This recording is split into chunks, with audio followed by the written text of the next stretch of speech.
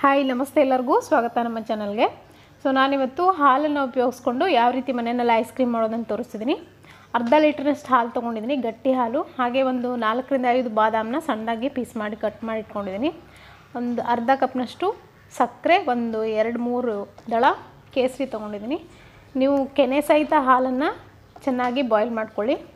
ನಾನು ಕೂಡ ಕೆನೆ ಸಹಿತ ಹಾಲನ್ನು ಈ ಕೇಸರಿ ಮತ್ತು ಸಕ್ಕರೆ ಎಲ್ಲ ಹಾಕ್ಕೊಂಡು ಒಂದು ಮೂರರಿಂದ ನಾಲ್ಕು ಕುದಿ ಬರೋವರೆಗೂ ಚೆನ್ನಾಗಿ ಕುದಿಸ್ಕೊಳ್ತೀನಿ. ಹಾಲು ಗಟ್ಟಿ ಆಗೋವರೆಗೂ. ಈ ಥರ ಕೈ ಆಡಿಸ್ತಾನೆ ಚೆನ್ನಾಗಿ ಕುದಿಸ್ಕೊಳ್ಳಿ. ಕೆನೆ ಕಟ್ಟಿದ್ರೆ ಈ ಥರ ಮಿಕ್ಸ್ ಮಾಡ್ಕೊಳ್ತಾ ಒಂದು ಎರಡು, ಎರಡರಿಂದ ಮೂರು ಕುದಿನ ಚೆನ್ನಾಗಿ ಕುದಿಸ್ಕೊಳ್ತೀನಿ. ತುಂಬ ಚೆನ್ನಾಗಿರುತ್ತೆ. ನಿಮ್ಮ ಮನೇಲೆಲ್ಲಾದರೂ ಚಿಕ್ಕ ಮಕ್ಕಳಿದ್ರೆ ಈ ಥರ ಐಸ್ ಕ್ರೀಮ್ನ ಮನೆಯಲ್ಲೇ ಮಾಡಿಕೊಡಿ. ತುಂಬ ಟೇಸ್ಟಿಯಾಗಿ ಕೂಡ ಇರುತ್ತೆ.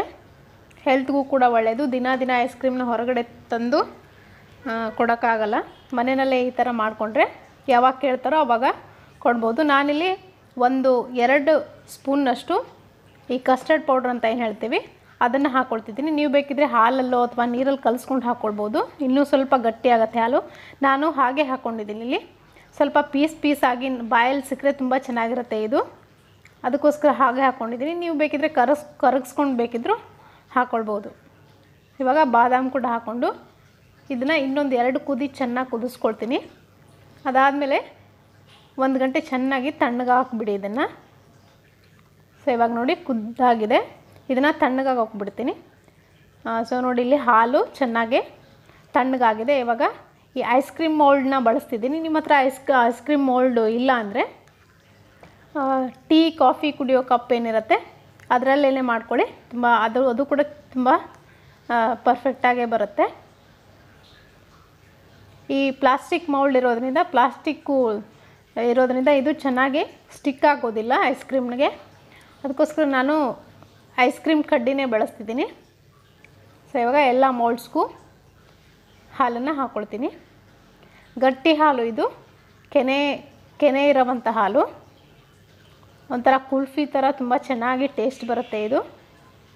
ನೀವು ಬೇಕಿದ್ರೆ ಬೇರೆ ಡ್ರೈ ಫ್ರೂಟ್ಸ್ ಕೂಡ ಹಾಕ್ಕೊಳ್ಬೋದು ಇವಾಗ ಇದನ್ನು ಈ ಮುಚ್ಚಳ ಮುಚ್ಚಿ ಫ್ರಿಜ್ನಲ್ಲಿ ಒಂದು ಎಂಟರಿಂದ ಹತ್ತು ಗಂಟೆ ಇಡ್ತೀನಿ ನಾನು.